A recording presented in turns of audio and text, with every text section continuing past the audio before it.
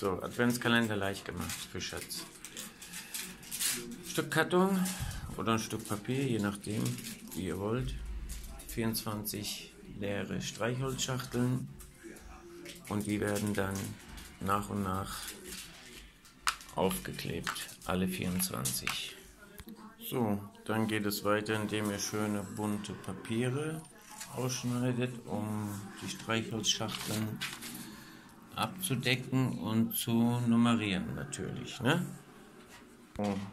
Wenn ihr nun alle Streichholzschachteln abgeklebt habt, nehmt ihr euch solche Stifte, die ein bisschen leuchten, um natürlich den Text und die Zahlen von 1 bis 24 drauf zu schreiben. So, wenn ihr dann alle nummeriert habt, müsst ihr euch nur noch 24 Gründe ausdenken und in diese Schachteln packen. Viel Spaß. Euer Mädel wird sich freuen.